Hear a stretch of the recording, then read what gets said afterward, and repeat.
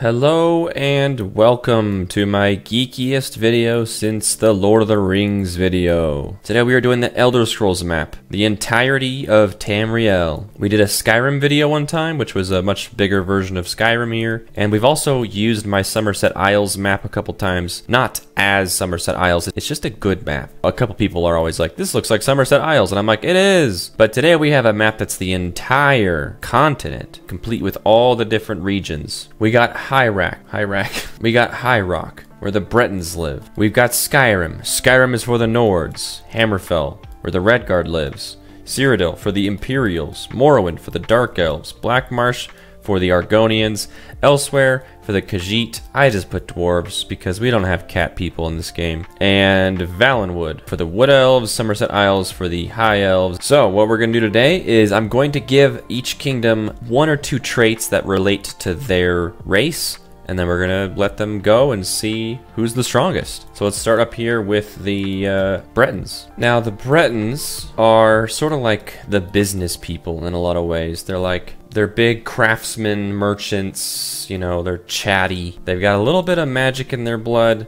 So let's go ahead and give them, I'm to say genius because that makes a lot of sense. And then, I don't know, one more. Let's give them golden tooth. I actually am not 100% sure what that does, but it does seem like a wealth type deal. So let's go ahead and give them that. Make sure they all got it.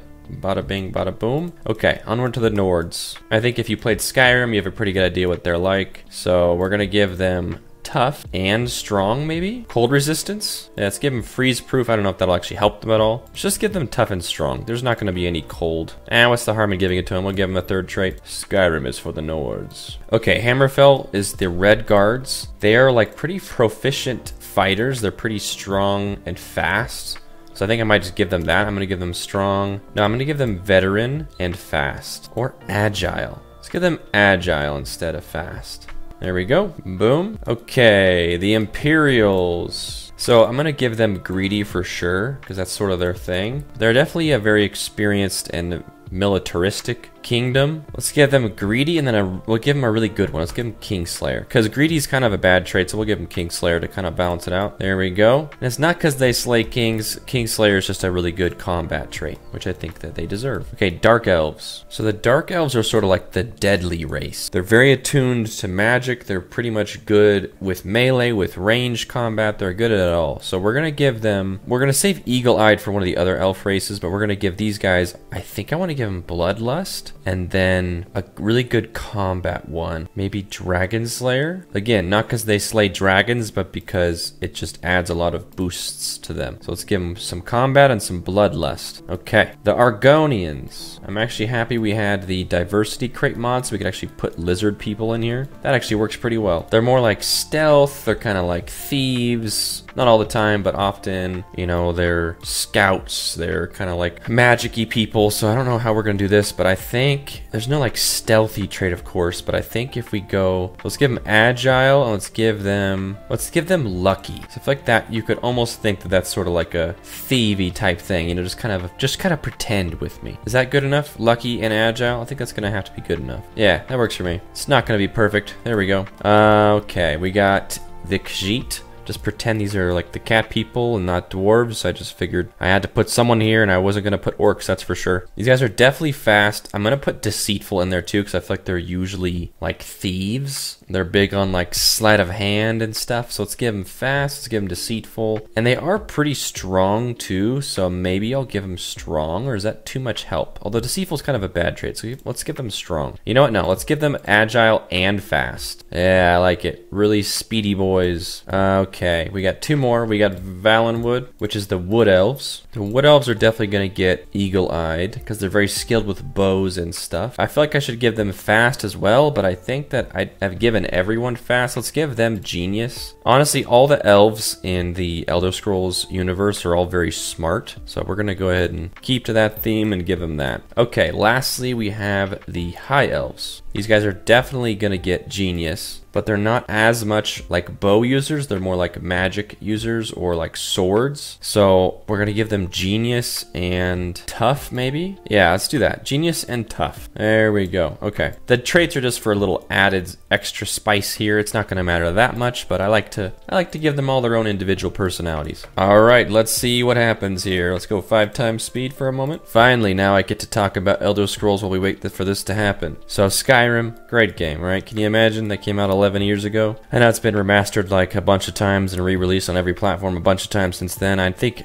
I think I've bought that game like at least four times on different platforms. I feel pretty stupid about it. You don't gotta make fun of me. My favorite, however, was Oblivion, which takes place here in Cyrodiil. And holy smokes, I know that game came out even longer ago, and I was like, I don't know, 12 when it came out. I played the crap out of that game and I still love it. It's my favorite Elder Scrolls game, and it always will be. I went back later on to try to play Morrowind because everyone said that was the best one, but I think it really is just whichever one you play first, like whichever one came out when you were the right age. If you did get into it when it was new, it's a little hard to get into now. And honestly, the same thing could be said about Oblivion. If you played Skyrim first and you go back to Oblivion, it might feel like a step backwards, but if you started with Oblivion, whew, Skyrim in some ways feels like a step backwards. Skyrim does a lot of great stuff, but there's some things that I like more about Oblivion. People are theorizing that the next Elder Scrolls game is going to be up here in Hammerfell because it looks like a kind of sandy coastline in some clip they showed, which is like the only place that there could actually be like uh, this sort of land on the coast, so, you know, people are theorizing, but who knows, dude? It could be anywhere. Also, I feel like I should connect this. Feels a little bit cheap, but I want them to be able to move over here to Vvardenfell, or whatever it's called. Vvardenfell? I don't know. Also, in case you're wondering, yes, there are orcs in the Elder Scrolls world, but we are not doing them here today because A, they don't really have a kingdom or their own region, and B, they're super OP here in Worldbox, so they would just run this whole experiment. But I had definitely thought about putting them up here because this is where Orsinium is, which is like their main capital. But even still, it's not really a region. It's just like a stronghold, like a big stronghold. Um, so it's not really worth it anyway. Oh, Morrowind declared war on Blackmarsh. Cyrodiil has declared war on Hammerfell. Okay, so it begins. Cyrodiil has declared war on Morrowind. Why did they declare war on two things at once? Okay, they're working quickly here. Let me just show you my rules really quick. I have rebellions off, and but I have angry villagers on. So that way the wars won't go too quickly, because the villagers will help defend. I personally am rooting for Cyrodiil to win, but I know that since they're in the very middle of the map, it's going to be a little bit rough. I'd be happy if Skyrim wins as well. I feel like that would be a win for all of us. Valenwood has declared war on Elsweyr. Okay. Elsweyr is not doing well. They're not doing well at all. Cyrodiil has declared war on Elsweyr. Why are you guys at war with three people already? It's been like it's been like two minutes. Okay, yeah, these two down here kind of have bad land. So I feel like they're going to get knocked out pretty quick, but who knows? Maybe uh, Elsweyr will take over Valenwood. Wouldn't that be something? But that being said, I'm going to say probably not. Whoa, Hammerfell's destroyed already. Dude, Cyrodiil just wiped them out quickly. They had a little bit of a slow start because their land is kind of bad, which is, you know, accurate. Hammerfell's not a great region to live. Uh, Skyrim has declared war on High Rock. Skyrim has also declared war on Cyrodiil. Dude, this is getting, this is getting spicy. Like, everyone's at war. High Rock has declared war on Cyrodiil. My man. Okay, this is, uh, this is Skyrim. Skyrim could have a very good chance. Skyrim being kind of up in this upper region. You know what? Maybe they'll just keep pushing on downward and killing everybody. Look at them go. This is the uh, revenge they needed. Morrowind is just getting pulverized over here. They are down to 20 population. Looks like the uh, Argonians. The Argonians have made their way up here and they're just destroying everything. Down to 30 population. That's good for the Argonians because they might be able to actually get some new land. Although, what's this? Morrowind is making a move too. Cyrodiil declared war on yet another kingdom, making it so they're now at war with five of the seven other kingdoms.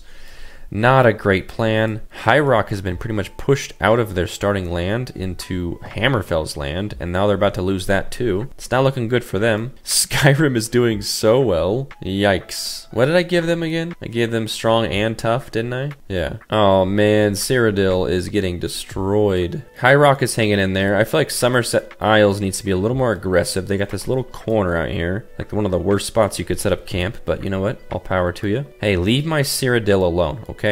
Seriously. 420 to 20. If High Rock can just keep this upper region for a little while longer, and Skyrim can just get busy with everyone else, although they're being smart. They only declare war with the two next to them, unlike somebody, dummy. What an imperial thing to do, you know? What an imperial thing to do. Now, what would be cool is to place a couple of these fire towers down to be like the Oblivion Gates, but uh, nah. Morrowind is down to 8 population. Not looking good for them. I don't know why they're even still here, to be honest, but you know what? I'm proud of them. The uh, Argonians are just like watching Make sure no one leaves. I think the last people are just like boats, probably. Okay, Cyrodiil is just about to get wiped out. Oh no, I can't bear to watch. King Beg of Cyrodiil was eliminated. He begged for mercy. Okay, I have not seen the official word that they're gone yet, though. High Rock made peace with Skyrim. Doesn't look very peaceful to me. What the heck? Oh, wait, what is this? Oh, this is Summerset Isles. I was like, this is, they're both green. It's like, uh, that does not look very peaceful. Okay, Summerset Isles is out here destroying High Rock. Bretons versus the uh, High Elves here. And the High Elves are just overpowering them so quickly. Way to go, Elves. Okay, Kingdom of Cyrodiil is officially gone. Skyrim just declared war on Summerset Isles, who was getting a little too greedy out here. Taking over a little too much land. Okay, Morrowind was wiped out at some point. They're officially gone. I'm down for this. You know, Skyrim taking the win. This is like the game everyone probably knows the most, so you know what? We got to give our boys a win. But in the story of Skyrim, the Imperials from down here in Cyrodiil have kind of made their way upwards, and that's the whole story of the game is the Stormcloaks, which are like the locals fighting against the Imperials who are trying to basically colonize the north up here. So they got revenge in this video. They got to just wipe out the Imperials like first order of business. So what a nice alternate history. The Argonians traveling north to wipe out the Dark Elves is kind of a funny thing to happen as well, but I'm all for it. The uh, Elsweyr, Khajiit, I don't know why they're still here. Somehow they're still hanging in there. Good for them. We need Valenwood to actually do something. They like haven't really gained or lost like any population or land. They're just like stuck in the corner. If they could just take over this region, that'd be great for them. High Rock is about to be gone officially, looks like. It just got a few buildings and a few boats left. Rest in peace, my Breton boys. I think I usually played as a Breton when I would play Oblivion, because they've got good benefits. Okay, who's here? Who's this? Is this Skyrim? Yep, Skyrim's here. They went all the way across the water, destroying uh, Skywatch, I think this is called, this region. Firsthold, but they went to the island, not to the mainland. Here they go. We got one, we got one guy coming in to save the day. Let's go, dude. Let's see what you got. It's Oh my gosh, that's Ulfric Stormcloak. No way. Wait, are they at peace with Valenwood? Oh yeah, they are at peace with Valenwood. They're trying to get across. I don't know why he came down here though. What a boring life. Okay, again, Valenwood is like here, but they're just not trying very hard. I know they got this water blocking their way, but like, come on guys. Find a way around it. Also, I don't know where any of the people that live in Elsweyr are. There's like maybe one guy. There he is. There's the king. The one guy. If they kill that one guy, I think that's the the region is gone. Okay. Skyrim's at 640. Oh, what's this? Somerset Isles doing some damage. Good for them. Cutting off their food supply down here in Hammerfell. Is this Hammerfell? No, this is uh this is Anvil. This is there's uh Kvatch to be like right here. Anvil will be like down here on the coast. Oh, what a good time. If you played Elder Scrolls Online, that game takes place over most of this map. So like Glenumbra is like over here somewhere or up up here? I don't remember. Over here? I don't know. Daggerfall's over here. I don't know if that's a thing. Um, Dragonstar's up here, kind of here. You've got all that goody goody. You got Riften. Riften would be here. You know, you know, you know. Okay, Skyrim declared war on Black Marsh. Looks like Elsweyr might actually get eliminated now. Come on, boys. There we go. They're gone. Black Marsh, not doing too bad. They're up to almost 300 and they've got a bit of new land, but unfortunately the timing is not great because Skyrim has just declared war on them. Uh, so I don't know if they're going to have time to expand, but that might give Valenwood uh, a chance to take over this region and perhaps an opportunity for Summerset Isles to rebuild themselves, but it's not looking good. Also, Skyrim's declared war on Valenwood as well, which I think means they're at war with everyone except for Elsweyr, which is gone. I don't know why this is still here. Which means they're at war with everyone. Elsweyr is gone, but I guess there's a boat left. Okay, well, hey, if everyone's against Skyrim, maybe we could have a little bit of a back and forth here, but they are also just really, really strong. And if they take over the Summerset Isles, then that's bad news for everyone. Look at this giant giant right here. This is Skyrim. Holy smokes. It's Ulfric Stormcloak. Is how you spell it? Ulfric? It is now. Okay, Ulfric, do your thing. He's so big. Why is he so big? It's just the giant trait. Does it really make you that big now? That's crazy. He's like three times their size. All right, whatever. Okay, Skyrim's down to 600. They were at 700 a minute ago. It's not much, but it's something. Black Marsh up to 300. There's all these little conflicts going around the whole region. Valenwood up to 200. Summerset Isles is definitely going to go soon. I think the only reason why they're still alive is because they got all these people on the island over here that, that Skyrim hasn't figured out how to get over there yet. We got Black Marsh at 330. Oh no, why'd you declare war on Valenwood? You guys got to team up. Don't do that. The lizards, if you haven't watched my videos of them before, they're not particularly that strong. They don't have a ton of health, but they have a lot of damage. So they could, you know, they could give Skyrim some trouble out here, you know? If it's not too late. But they're up to 360, and Skyrim's down into the 500s. So if this keeps going this way, this could be good. Although, unfortunately, we got Valenwood moving in now. Making a big move with quite the sizable army, so that's going to be bad news for our Argonian friends here. Here we go, we got a little conflict going on. The elves also also have the elves do low damage but have a little bit more health. So they're kind of like the opposite of the, of the argonians but it looks like they did make quick work of them because numbers do win wars you know? That's kind of a bummer. They actually might have had a chance there but now i'm not so sure. We got summerset isles over here fighting the nords. Goodbye. Oh they just made friends Summerset Isles and Skyrim are now allies. See, if Skyrim attacks Valenwood, and then Black Marsh just takes over Skyrim, and then Skyrim, uh, I mean, I'm rooting for Skyrim, but I'm also rooting for the underdog, you know? I like the Argonians too, I think they're cool. Black Marsh up to 400. I'm actually kind of, I'm kind of team Argonian right now. I, I kind of like where this is going. We got a good thing going on here. Yeah, look at them. They're like being so aggressive. They're traveling in such big groups, and since since they're fast, I feel like they're able to take over sections of land before Skyrim can even like react to it. And Valenwood just made peace with Skyrim.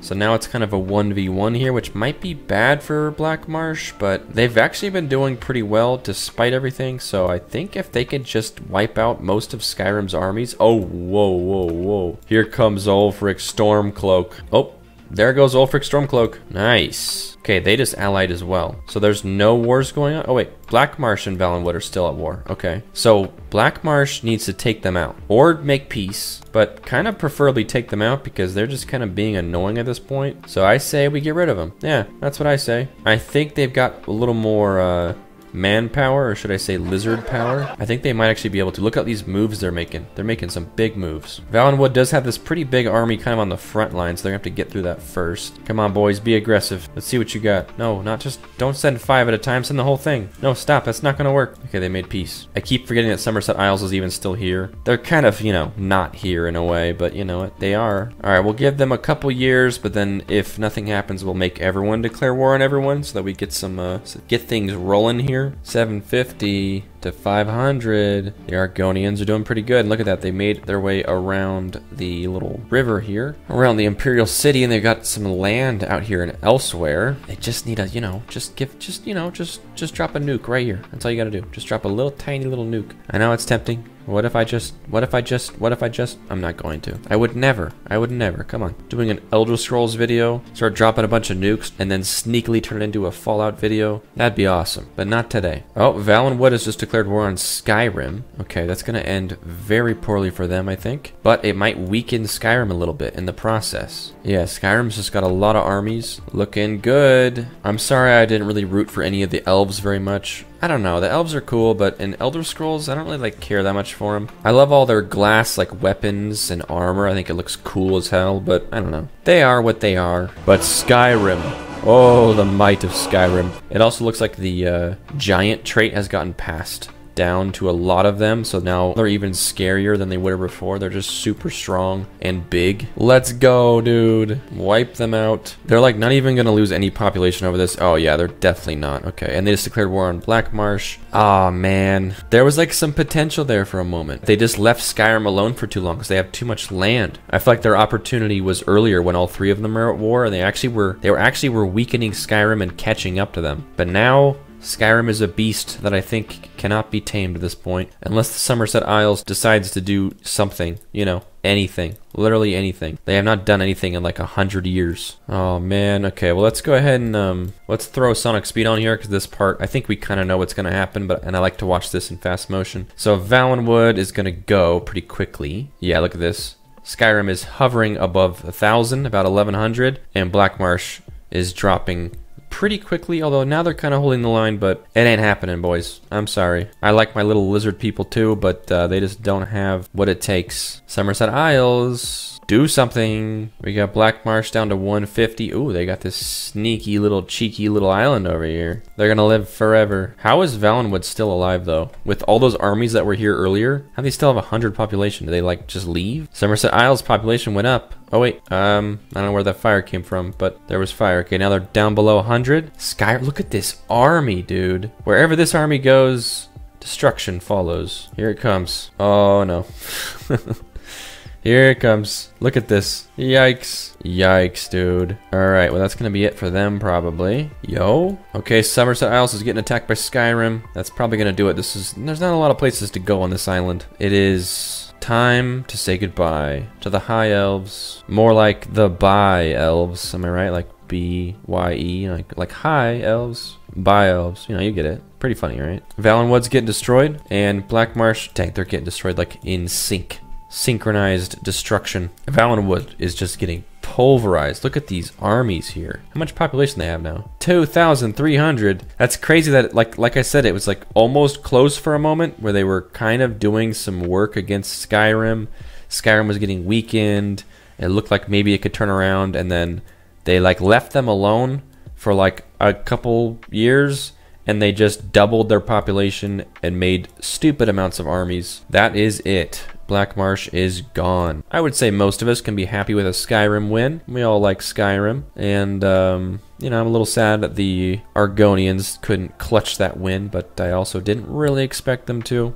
But GG, all the same, to our boys, the Nords, the Stormcloaks, done it again. That was fun. I like that. I always enjoy these like maps from other games type deals. So this is definitely one that I wanted to do for a little while, and um, ever since I got that diversity crate mod where we could actually do lizard people, I was like, well, now it's definitely time. Because now we can actually put Argonians in here. Alright, well, thanks for watching, guys. Hopefully you enjoyed that. Smash like if you liked the video, and uh, subscribe if you have not. And I'll see you guys in the next one. Let me know if there's any other game maps you'd like to see me do. I'm always down to try that. I think these are fun. So drop your comments down below, and I will see you guys next time.